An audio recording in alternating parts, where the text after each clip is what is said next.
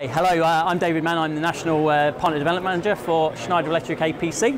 Uh, what I want to show you here today is our lithium-ion UPS technology, which is a brand new UPS technology we're bringing out to the market. Customers have been asking for this technology for a little while, which is why, we've, uh, why we're releasing this in the market now.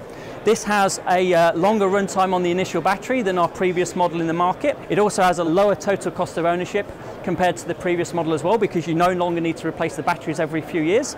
The initial runtime on the battery is a lot longer and also the battery design life lasts between 8 and 10 years whereas the previous variety only had about 3 to 5 years operates in much higher temperatures than the previous variety as well and has a lot more um, cycles that it's able to do before the battery becomes, uh, becomes dead.